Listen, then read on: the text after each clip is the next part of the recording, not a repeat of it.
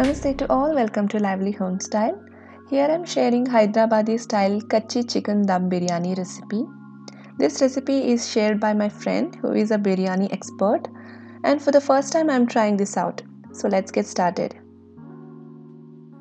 Here I am storing some green chili and mint leaves.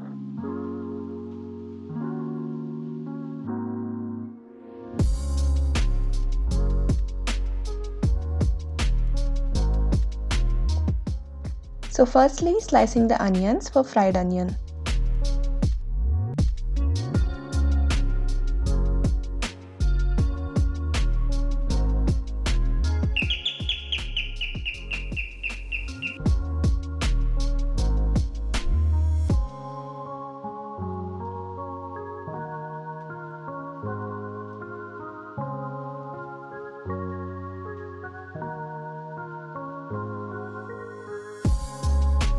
Back to onion, slice it evenly and thinly.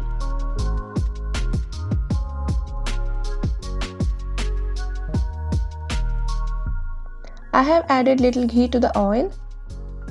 Once it's hot, add onions and fry till golden and set aside.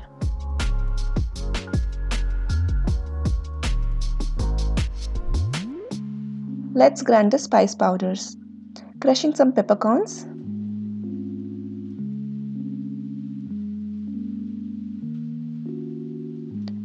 Now grinding the garam masala for biryani. You can grind it in large quantity and store it as well. But I'm preparing it fresh and as it is less, I'm using mortar and pestle.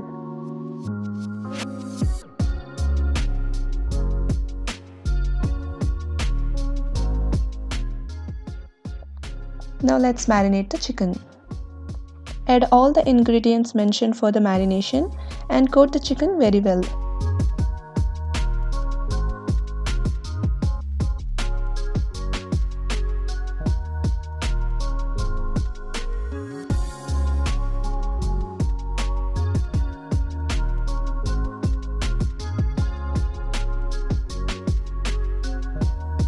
Add 3 4th portion of fresh ground garam masala to the marination and rest 1 4th portion we will be using later while layering biryani.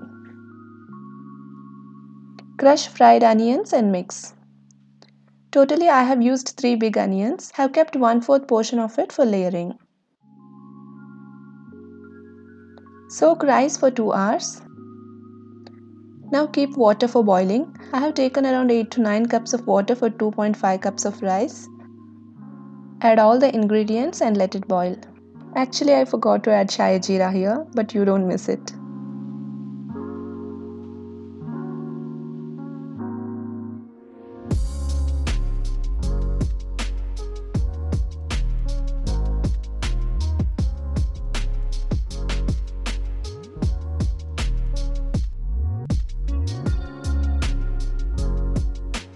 Now the rice is cooked almost 75%. Turn off the flame and immediately we'll start layering. I am using a pressure cooker for layering. Adding little oil which I used for fried onions and little ghee. Place the marinated chicken pieces.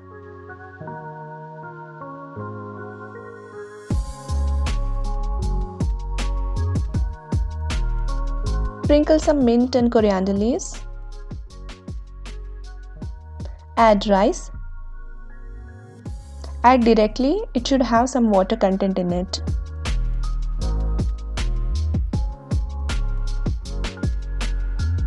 As a top layer, sprinkle leftover garam masala, spread fried onions, few mint and coriander leaves, lemon juice and ghee.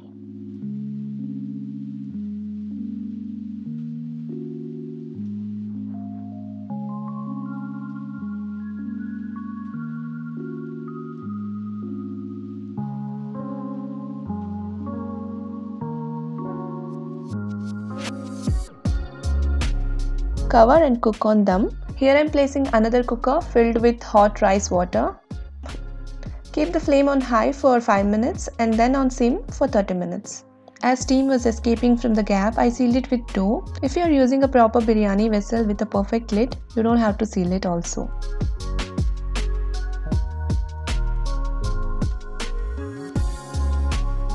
After 30 minutes, check at the bottom If it is still watery, then cook for some more time or else it's done. I kept for 35 to 40 minutes so the bottom was slightly charred, hence the gravy was little less, but the taste was really good and I would say it was 90% successful. Chicken was very soft and flavorful and the aroma and taste of biryani was wonderful.